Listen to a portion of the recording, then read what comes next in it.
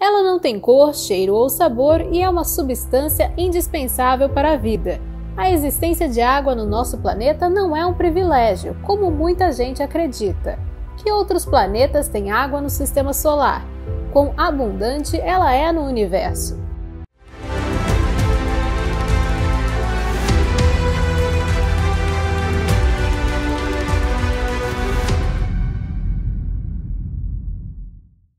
Cerca de 70% da superfície do nosso planeta é coberto por água líquida. No entanto, toda essa massa de água responde a uma fração muito pequena da massa do nosso planeta, cerca de 2 milésimos do total. A Terra não é um planeta água, é um dos lugares mais áridos do sistema solar. Por causa da distância a que estamos do Sol, encontramos água líquida, gelo e vapor no nosso planeta. Planetas mais próximos da nossa estrela, como Vênus e Mercúrio, têm muito menos água que a Terra. E planetas mais distantes têm ainda mais água do que aqui. É, nessa forma de é, água líquida distribuída em oceanos na superfície, é só a Terra que, que possui água.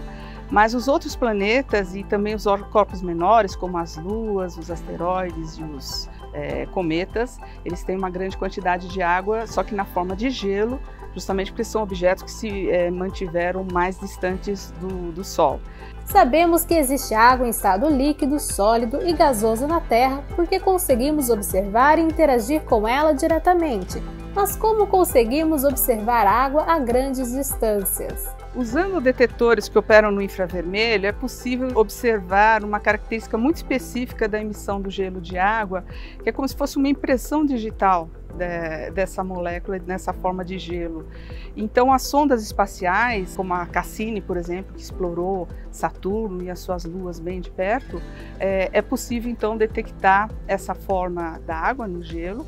Mas, além disso, a distância também nós conseguimos observar com telescópios aqui no solo da Terra e também as, uh, os telescópios espaciais.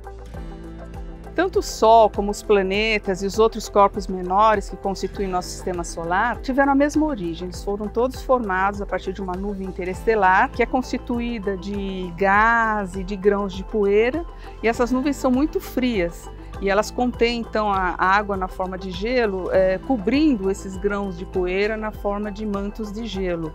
Esses grãos vão se aglutinando e vão formando corpos cada vez maiores, que por sua vez se aglutinam também e deram origem então aos planetas e aos outros corpos do sistema solar. A água chegou às nuvens interestelares quando o universo tinha apenas 200 milhões de anos. Nessa época, grandes estrelas de primeira geração explodiram, enchendo o espaço de átomos de oxigênio. Eles reagem muito facilmente com átomos de hidrogênio produzidos pelo Big Bang. A água é uma das moléculas mais antigas e abundantes do universo. Por causa de suas características químicas, a molécula é bastante resistente e transita entre ambientes quentes e frios sem ser destruída. A Terra, quando era é, muito jovem, ela era muito quente, então toda a água que veio no processo de formação da, do planeta junto com, com o sistema solar, ela se evaporou, aquela água original.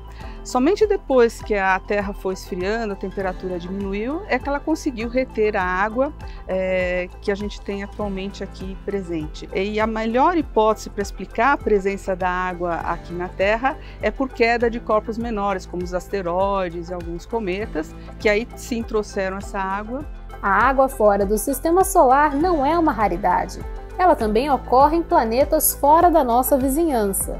É, no universo como um todo, a gente está encontrando sim evidências da presença de água é, nessa forma de gelo, principalmente nas nuvens interestelares, que estão presentes tanto na nossa galáxia como em outras galáxias. Mas nós temos também na forma de vapor em ambientes mais turbulentos e um pouco mais quentes. Boa parte da água que mata a nossa sede tem mais de 13 bilhões de anos de idade. Entender a origem desta molécula pode nos dar pistas interessantes sobre muitos outros processos. Quanto mais antiga a água que existe no universo, mais tempo ela pode ter tido para se depositar em outros planetas. O que isso poderia nos dizer sobre as chances de surgimento e evolução da vida em outros lugares?